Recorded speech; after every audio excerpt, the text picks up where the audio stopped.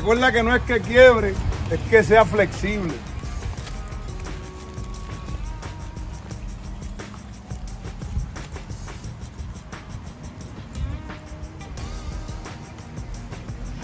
Oh.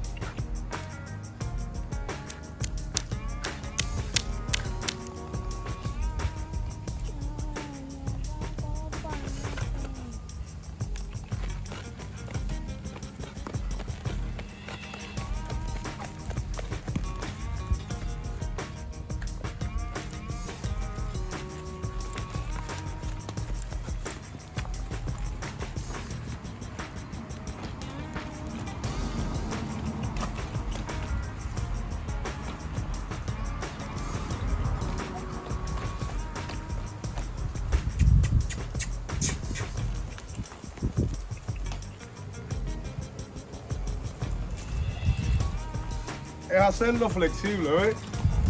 Tú lo lleves a los laterales a gusto y gana. Ya este está empezando a aflojar bien. Está haciendo mejor las cosas cada vez. A este caballo lo que le estamos dando es un restart a la doma.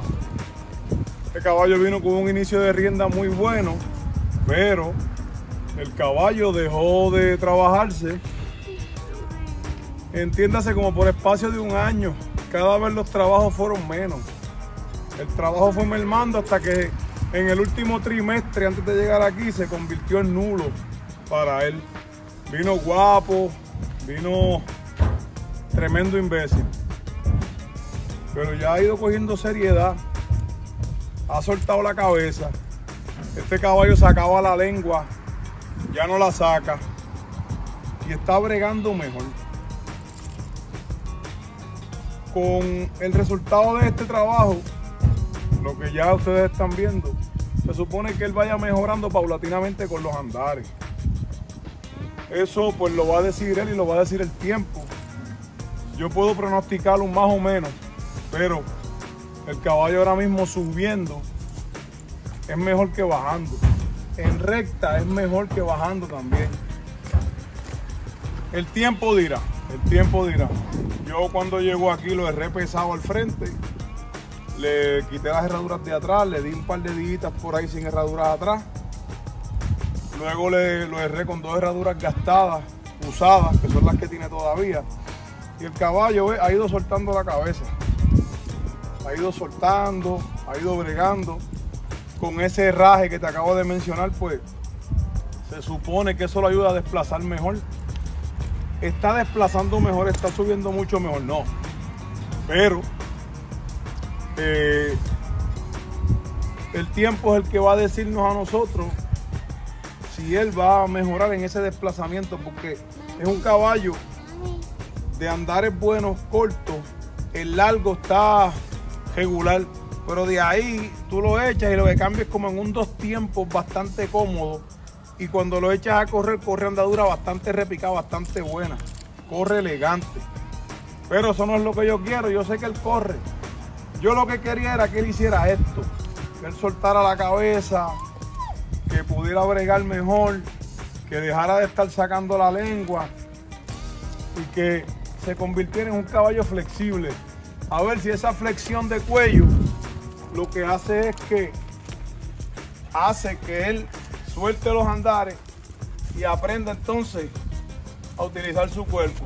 Pero ve, él está flojito y lo aflojé a mano.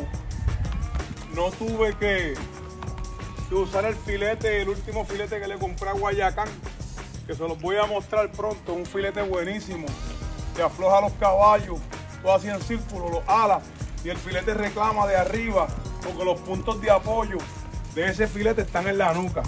Aquí yo lo aflojé a mano con ese alzador, con ese huesito partido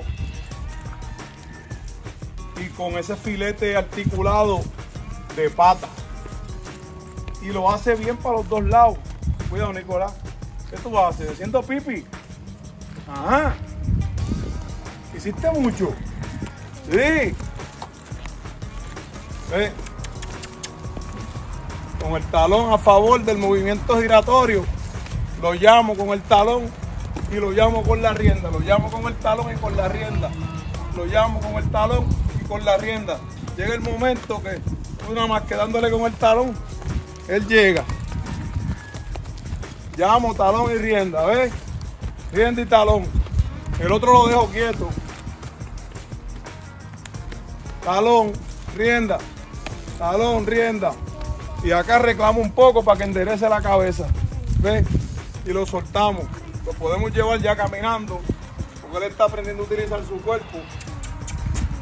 Estamos enseñándolo aquí a que meta la mano sobre la mano y la pata sobre la pata. Vamos para el otro lado ahora, ¿ves? Lo hacemos que camine. Lo detenemos. Ahí sí queremos, Nicolás, permiso. Ahí sí queremos.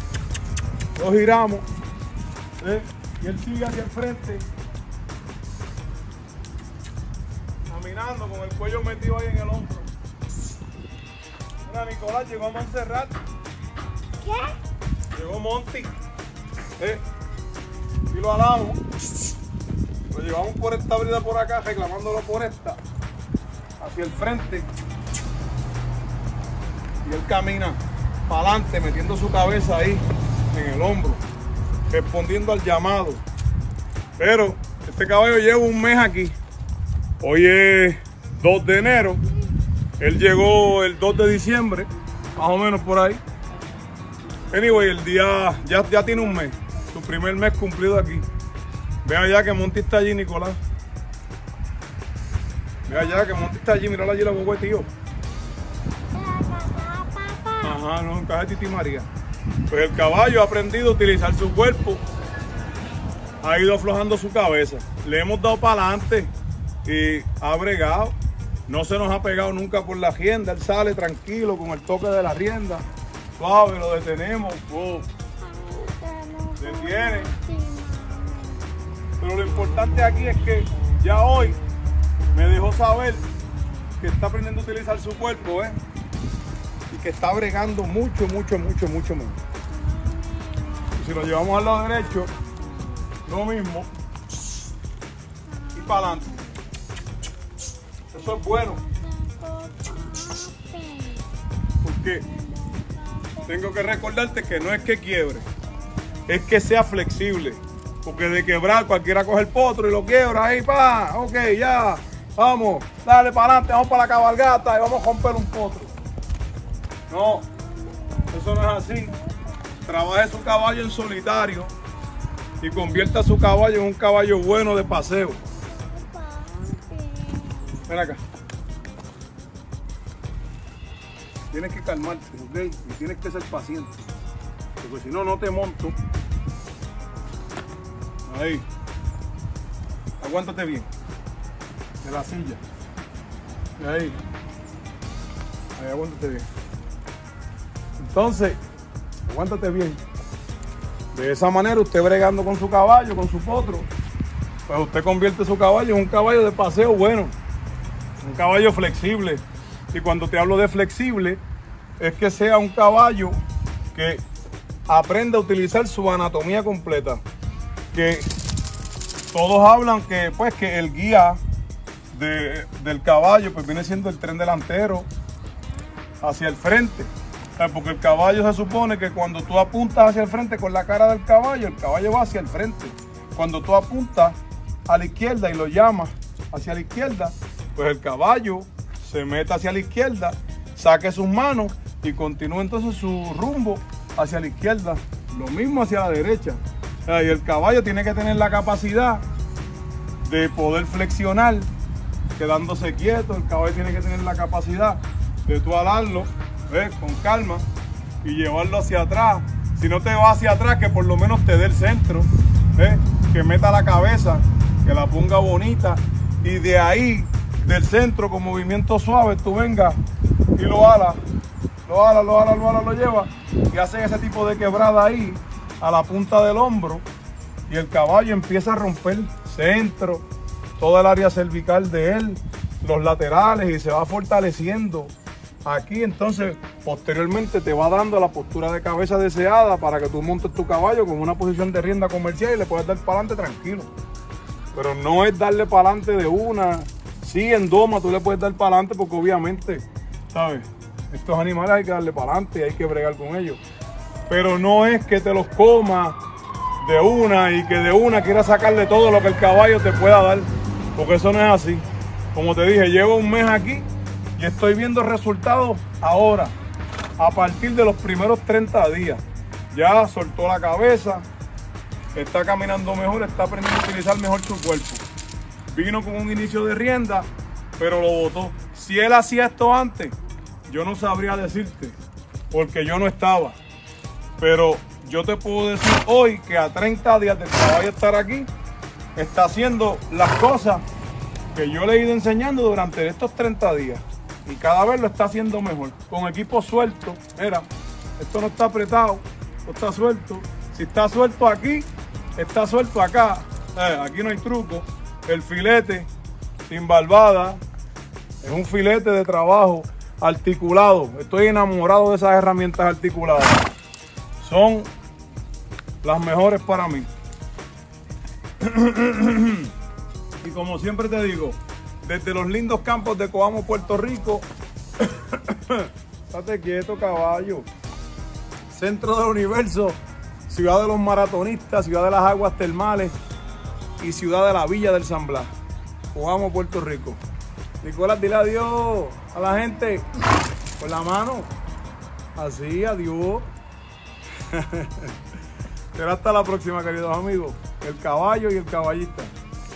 Vámonos. Gente, agárrate. Agárrate Vamos. Vamos. Dile, vamos, caballo.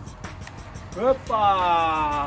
¡Epa! Ahí va Nicolás. Corriendo caballo solo. Corriendo mucho. ¡Epa!